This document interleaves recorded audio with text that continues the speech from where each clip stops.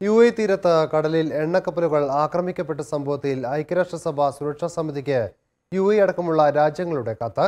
കപ്പലാക്രമണത്തിൽ ശ്രദ്ധ ക്ഷണിച്ചുകൊണ്ടാണ് കത്ത്. അതേസമയം കപ്പലുകൾ ആക്രമിക്കപ്പെട്ടതുമായി ബന്ധപ്പെട്ട അന്വേഷണത്തിന്റെ ഫലം ഏതാനും ദിവസങ്ങൾക്കുള്ളിൽ പുറത്തുവരുമെന്ന് യു എ വിദേശകാര്യ മന്ത്രാലയം വ്യക്തമാക്കി. U A Saudi Arabia Norway എന്നീ രാജ്യങ്ങൾ ചേർന്നാണ് ഐക്യരാഷ്ട്രസഭ രക്ഷാസമിതിക്ക് കപ്പലാക്രമണവുമായി ബന്ധപ്പെട്ട് സംയുക്തമായി കത്ത് നൽകിയത്. മെയ് പന്ത്രണ്ടിന് യു എയുടെ കടലിൽ കപ്പലുകൾ ആക്രമിക്കപ്പെട്ട സംഭവത്തിൽ ശ്രദ്ധ ക്ഷണിച്ചുകൊണ്ടാണ് കത്ത്.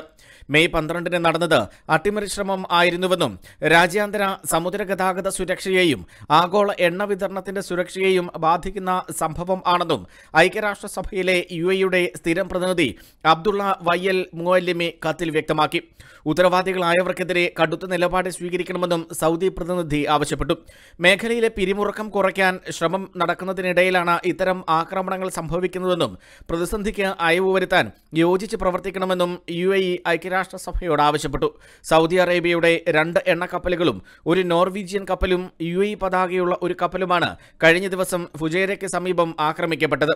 അതേസമയം കപ്പൽ ആക്രമിക്കപ്പെട്ടതുമായി ബന്ധപ്പെട്ട അന്വേഷണത്തിന്റെ ഫലം ഏതാനും ദിവസങ്ങൾക്കുള്ളിൽ പുറത്തുവരുമെന്ന് യു എ ഇ വിദേശകാര്യ രാജ്യാന്തര സഹകരണ വകുപ്പ് മന്ത്രി ഡോക്ടർ അൻവർ ഗർഗാഷ് പറഞ്ഞു. അമേരിക്ക ഫ്രാൻസ് തുടങ്ങിയ രാജ്യങ്ങളും അന്വേഷണവുമായി സഹകരിക്കുന്നുണ്ട്. States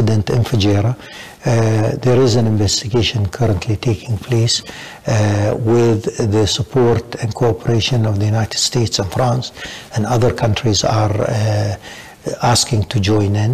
Uh, in a few days, we will know these results, and we've been very careful not to speculate until these results are out. അതേസമയം ഫുജൈറ തീരത്തിന് സമീപം എണ്ണ കപ്പലുകൾ ആക്രമിക്കപ്പെട്ടത് ഇറാന്റെ അനുഗ്രഹത്തോടെയാണെന്നാണ് അമേരിക്കൻ സുരക്ഷാ ഉദ്യോഗസ്ഥർ വ്യക്തമാക്കുന്നത് news desk N T V ജനങ്ങൾക്കൊപ്പം വാർത്തയ്ക്കൊപ്പം നന്മയോടൊപ്പം N T to the world